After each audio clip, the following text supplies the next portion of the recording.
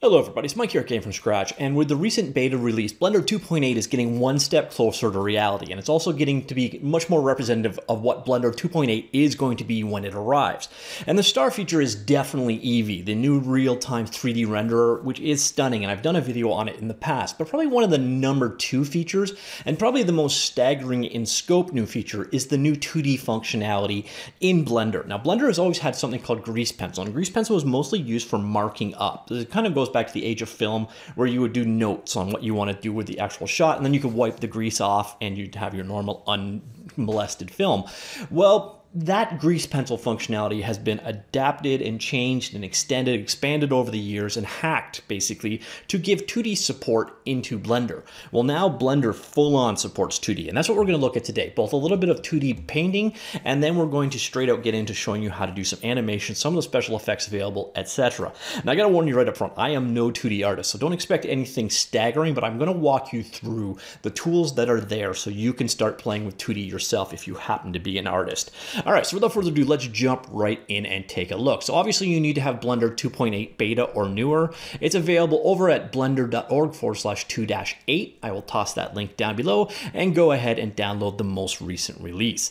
And then when you are ready to go, what I'm going to do in this particular example is use the pre-configured new 2D animation. This just sets the scene up for 2D drawing. Now, the cool thing with uh, all 2D art in Blender is you're still in a full 3D world, as we will see in a bit. So what exactly can you do here? Well, first off, you can draw. And that's what we're going to start with. You come up over here near the pencil icon here at the top, and you pick the type of pen you want to work with. So I'm going to pick a marker. Here we can pick the default size and the strength that we're going to draw with, and there is your color. Now, another thing that you're often going to want to do, especially if, like me, you have jittery uh, mouse strokes or pen strokes, set auto smooth up and it's going to make your lines just a little bit smoother as you go. But here you can see you've got control over how your um, your draw works, how your brush is shown, what is drawn with, and every brush itself is a full-blown material, as we will see in a second. But first, let's go ahead and show you simple drawing. So we've got our pen, we're in uh, draw mode, you see we're in pen mode right here, and I'm just gonna draw a circle. And there you go. That is how you draw. Now you can have um, multiple layers just like you would in Photoshop, both for fills and for just ink work. Uh, we're drawing in the lines layer right now. And I'm going to show you a very, very, very simple animation using this circle. So what we're going to do is just basically drop and splat. So here's your normal timeline. This is standard Blender timeline. Uh, I'm going to right click to advance it slightly. I'm oh, sorry, left click to advance it slightly. And then we're just going to go up here. We'll do a, uh, I'll switch over here into edit mode. We'll do a box select around this guy and then we'll G. Now you'll notice this green area right there. Well, that's the onion skin, or basically that is the previous frame being illustrated to us. That's updated again and down update again, and down, update again. So you see we're creating keyframes as we go, and down a little bit. And then once again, I am just using standard built-in keyboard shortcuts you already know and love from Blender. So in this case, the G key uh, for grab. Um, and now what I'm gonna do, now that I'm down here, is I'm actually gonna sculpt it into a splat. So we're gonna switch over to edit mode and into sculpt mode. And you see you've got a number of different options here. You got smoothing, thickness, um, strength, grab, push, twist, pinch, randomize, and clone. Uh, generally, uh, smooth is if you want to go over your edges and just sort of smooth them out as you go. Thickness will make the line thicker where you draw it, and so on and so forth. But what the ones we're going to deal with are grab, actually just grab. So I'm going to, let's make that a little bit bigger, change the intensity of our brush. And what we're going to do is just basically push this guy down. All right, so that's the beginning of our push. Now I'm going to advance a little bit and we'll smush it down again. Now you'll notice our line looks a little crappy. Uh, what I'm just gonna do, I'll just come in and do a quick smooth pass over it and you'll see it gets much better right away. And then back here to our push, push this guy out a bit like we're splatting and down. And again, advance. And then one more time. And done. So you see we're sitting around frame 18, so let's just put this up to frame 25 in length, and we can just play our animation. And you see, that is how simple it is to create animations inside of the new Blender update. Now, of course, so far we've done everything in a single um, greased pencil drawing, and we can actually animate our stuff as we go. So if I want to on these different frames, so I go back here to this, uh, this frame in the sequence, or frame two, frame two, and I go into draw mode, So let's go on back over here and I'm going to draw. And I just draw something like this, whatever. You'll notice as we go through the timeline, it will only be there for that particular frame. So it was quick and blip and you missed it. But what I could also do then is come in and basically, oops, let's get out of draw mode, edit mode. We could select those guys. Oh, I don't know why that just erased that. Was I, that might have been a bug. Uh, but basically you can copy it and then paste on a frame by frame basis, or you can paste across all the frames if you want to have something permanent. Now, another thing that you could often do in your scene, if you've got something that, like, so you've got this collection of ink as one grease pencil entity, but I could come back here, I'm in object mode now. I can go here and go up to um, the menu, go add, and we can just go ahead and add another grease pencil, and we can add a blank one, see it created right there. Just do G, we'll move that over here. And then I've got a whole separate set of grease pencil objects. So if I want to have multiple objects in my scene, multiple different grease pencils, I can do that. So say I wanted to have a tree over here, I could literally just draw my incredibly amazing tree, and then that will be there across all frames. So um, you can have multiple grease pencil objects in a scene. Uh, you can have multiple different strokes across different frames, or you can modify the same strokes across the entire animation. It kind of comes how you want to do things. Now, so far we've done things pretty straightforward. We've used the same uh, you know, let me just get rid of everything so that's not so distracting. We've used the same kind of set of brushes for everything. Now, a lot of times you might want to actually do a solid fill, and that's where uh, your materials come in. So, so far we've just drawn with the black material. So I'm going to come up here. We're in drawing mode. I'll go into ink mode there. We could tweak around with how it's doing. Again, I'm going to set this thing up to uh, auto smooth slightly so it gives me nicer looking curves. And then what you do is you come down here and I don't know why they give us two views that are identical at the same time. But what I can do is I can come in here um, and go into the materials. And now we can create a new material. So, so far we're using black. See, we've got a bunch predefined. I'm going to go ahead and create a new one uh, right here. And then call it my material. And you've got a choice of how the stroke is done and how the fill is done. Or you can turn the stroke or the fill off. Now I'm going to actually have a fill. I'm going to have a stroke. So I'm going to have the stroke be a solid black line. You can actually even have this come in. Instead of solid, you could actually use a texture. So if you want to have like a charcoal brush or something, you can bring in a texture to use for the actual stroke. But that's beyond what I'm going to show here. But what I'm going to do is go ahead and do a fill. Let's do a gradient fill on this guy. So just select fill, gradient, and then we pick your two colors. So let's go from a dark blue to a light blue, like this. Now, one of the things that's weird right off the hop is the alpha is always set to nothing. So if you're finding your, your shape isn't showing up, uh, it's probably because the alpha is at nothing, which is very strange. I don't know why they defaulted to zero alpha. It's very confusing, to be honest. So if you're trying to draw something and your fill isn't showing up, go check your color out and make sure that your alpha value isn't at zero. All right, so now we've got it set to outside line. The stroke is going to be a solid black, and the inside line is going to be a gradient between these two colors. Now we can go ahead and draw, and there you see the inside is being filled accordingly pretty cool stuff. Uh, we can also tweak the gradient however we want. You see all these different settings there. So if we want to change the rotation on it, uh, we do that here. There's, there's actually quite a bit of power in, in, this whole setup. But you basically can create your own material and then use it across the board. So I'm going to go ahead. and I'm going to go back to um, let's go back to black. Uh, I'm going to just draw an outline to show you something else you can do.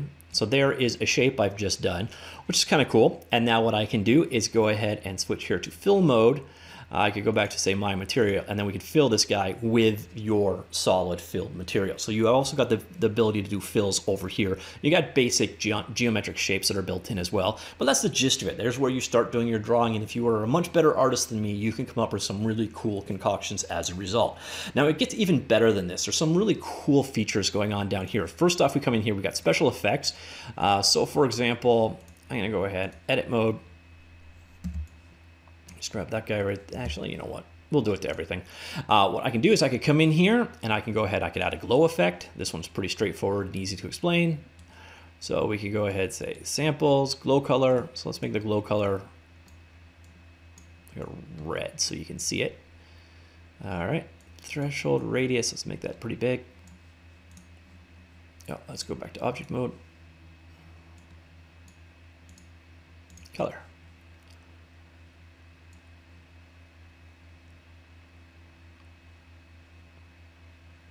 All right, apparently you do not want your glow to get too big or it bugs out. But there you see one of the things you can do. Another thing you can do, for example, is pixelate your effect. Uh, so we can come down here and go pixelate, and there you see immediately the results, and then we can change up the amount that are shown. And voila! So there are special effects that you can definitely apply to each stroke.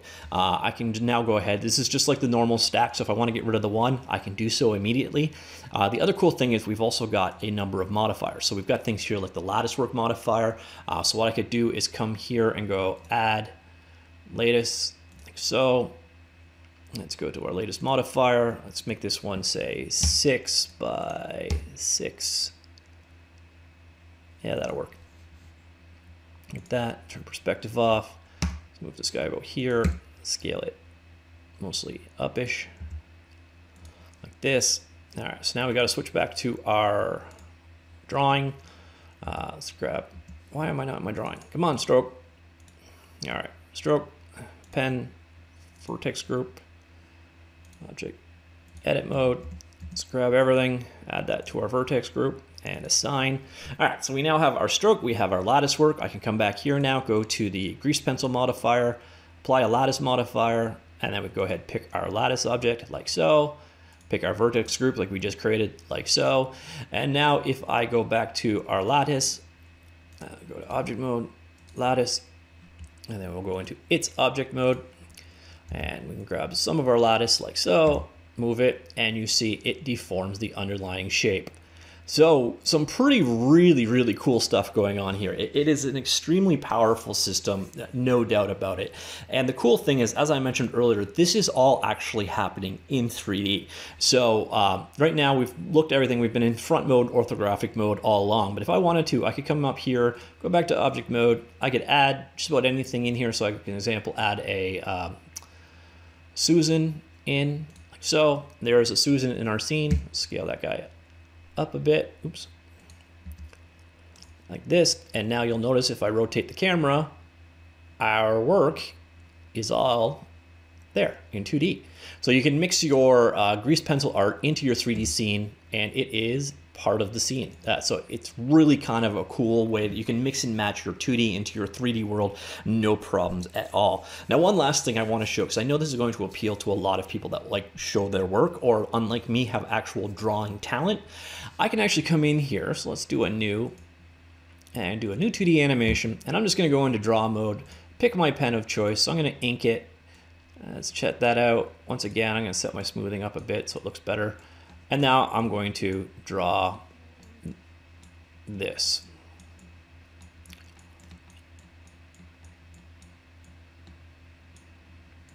Isn't that not amazing? Okay, so that was my showing you amazing artistic ability over time. Now, say I wanted to showcase this or animate this, we can actually go here to the modifier. So let me just collapse that back down again. Here's the modifier. Go here. There is a build modifier that immediately will show you over time. If I go back here, object mode, let's go ahead and play that. And there you see it will actually show your drawing process over the time period you specified. So in this case, uh, 150. So if I want to do that over my whole 250 length, this will actually show me the build process that that grease pencil object worked with over time.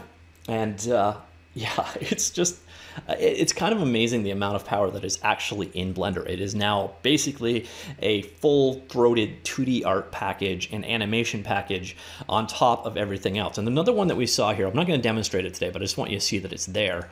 There's actually even an armature option. So you can actually use bone animation to modify um, your object over time. So you can do some really, really cool and capable stuff in the new grease pencil object built into Blender 2.8.